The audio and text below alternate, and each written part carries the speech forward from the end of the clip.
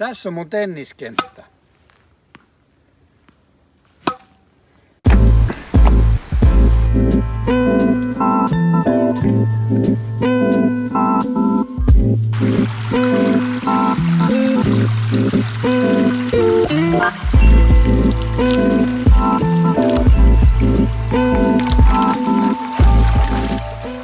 Rantasauna on yksi parhaimpia paikkoja. Tuolla on löylyhuone ja tossa otetaan virvoittavaa olutta saunan jälkeen.